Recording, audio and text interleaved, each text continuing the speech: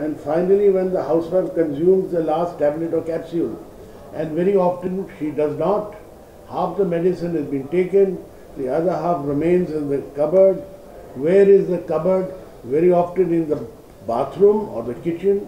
In both places there is heat, Moisture, there is moisture. moisture. Every time I have a hot shower, the whole bathroom is like a tropical storm Yes. of great intensity. Can you imagine what is happening to those poor PVC packed capsules?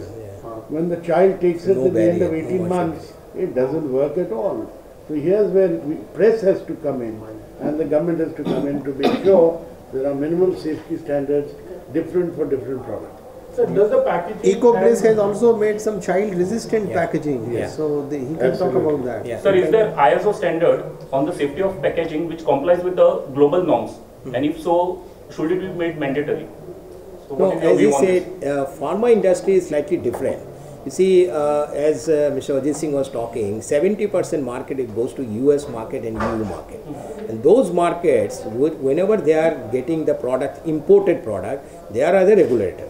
So it's all called regulated market. So absolutely there is not a problem problem. because ISO standards are there. We don't follow Indian standard and they don't follow ISO standard. Therefore the FDA regulation, FDA Foods and Drugs Administration Act. Our problem is not on those countries. Problem is with the unregulated and third world country where they don't follow FDA. Mm-hmm. And there our industry and institute will work together to come out with a solution. Basically we have to formulate this packaging specification. Mm-hmm. The primary packaging specification, secondary packaging specification and that should be followed so that when our industry are exporting the goods to those countries, we should not get a bad image like uh, our chief guest was talking that Vietnam where we have to count 40 industries has to come on the bracket and then it needs an investigation. So once we have a specs then that is not a problem because that's a benchmark which they will follow for the packaging.